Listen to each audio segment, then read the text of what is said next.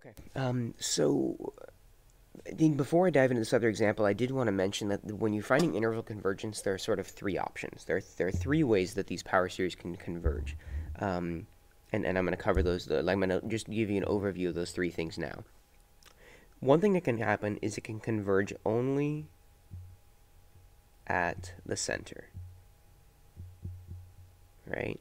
So if it converges only at the center, what would the interval of convergence look like? Now, the interval of convergence is really boring. It's going to be, you know, just x equals 3 or x equals 2 or x equals negative whatever the whatever the center was there isn't really an interval to speak of it's just going to be that center right in those cases what is the radius of convergence right well the radius of convergence if you think about it it's sort of remember we, we talked in the previous video about like if you were to write down an interval of you know what how how wide is the the the region that's converging in this case it's converging for one single solitary value when that happens, the radius of convergence is zero because it's only converging at the center. Right? It's like imagine like here's your number line and it converges only at three. Right? I can't say, oh yeah, it converges one in both directions or two in both directions. It's only happening at that center, and so the radius is zero, right? Um, so that's the first thing that can happen. It can converge only at the center. The next thing that can happen is it can converge for all values of x. And I think that was actually what we saw in the first example in, in the B video, right?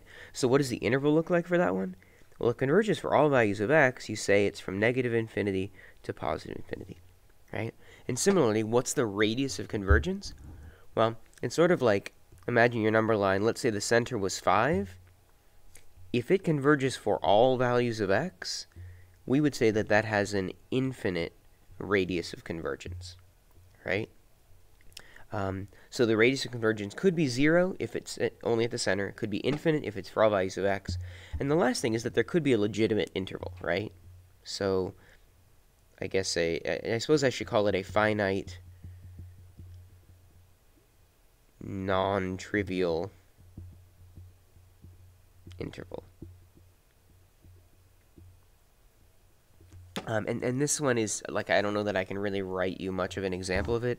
In these cases, you're going to get something like, oh, it converges between negative 1 and 3, you know, or maybe it converges between 2 and 4.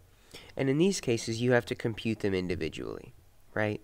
For the top one, the distance between 3 and 1 is 4, and 4 divided by 2 is 2, so the radius would be 2.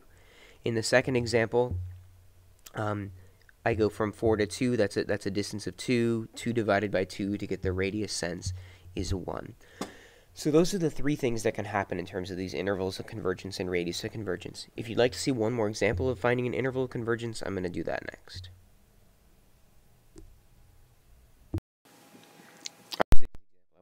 Find the radius and interval of convergence of this power series. Um, so first step, we pick a test. Um, I see nth powers, which means I'm going to be thinking ratio test. I'm sorry, not ratio test, root test. Um, so here we go with the root test. Right. For the root test, I'm supposed to take the limit as n approaches infinity of the nth root of the absolute value of this thing. Um, and, and in a number of cases, this works out really nicely. That nth root is going to cancel with that and with that. And with this, it's going to leave me, um, I'll, I'll, sort of have to deal with that individually. So I'm going to have um, the absolute value of x plus 5 over the nth root of n times 3. And remember, for the root test, this has to be less than 1 in order to converge. Right? So now hopefully you remember that we memorized the limit as n approaches infinity of the nth root of n is 1. So when this is all said and done, I just have x plus 5 over 3 has to be less than 1. Now just like we said in the previous video, once you get to this point, you sort of say, okay, that, that means this central thing has to be sandwiched between negative 1 and positive 1. Right? Next, if I multiply everything by 3, that gets me this. And then if I subtract 5, I'll end up with negative 8 is less than x is less than negative 2. now remember, this is not the finished interval of convergence. Remember, what do you have to do before you get the final interval of convergence? What we need to do is we need to test these endpoints. But before I do that, I do want to mention, at this point it's easy to find the radius. Right? At this one I can say, well, how far is it between, you know, from negative 8 to negative 2 is 6 units, right? And so that means the radius of convergence is 3. So if a problem is only asking for the radius, you don't need to test the endpoints. All you have to do is find out what the interval is, and then sort of find the total distance, divide by 2, and that'll give you the radius of convergence.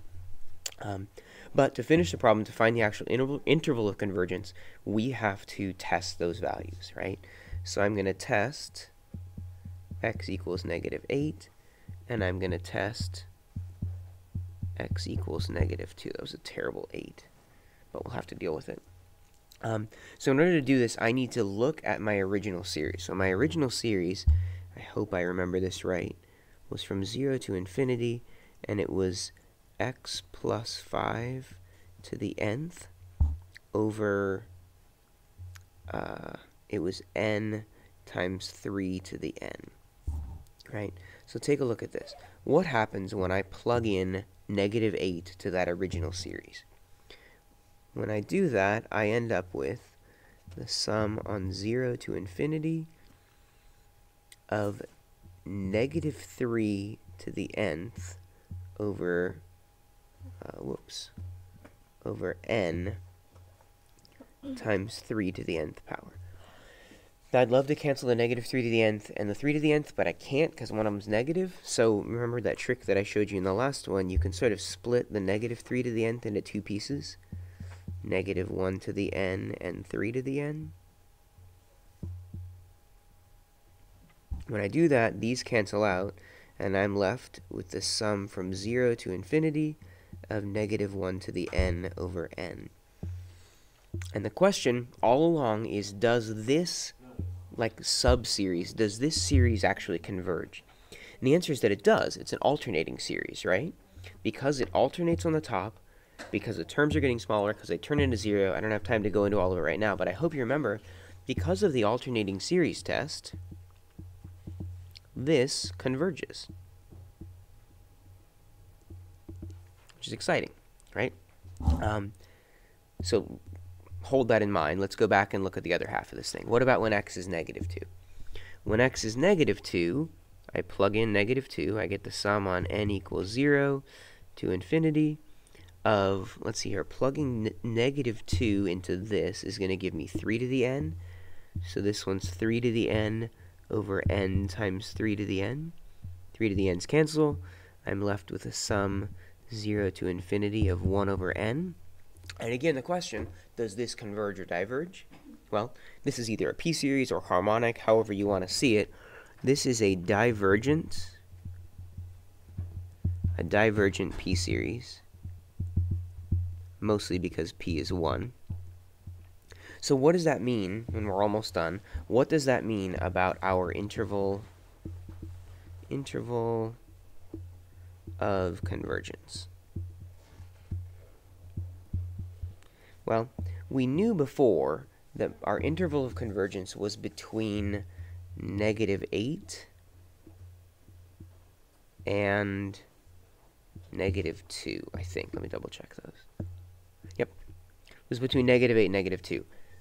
We found that it converges when you plug in negative 8. So I'm going to change this less than symbol to less than or equal to.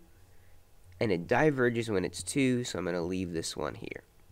If I wanted to write this in interval notation, I would write it like this. The bracket means that you include negative 8, that's a closed interval. The parentheses is an open interval, meaning you don't include negative 2.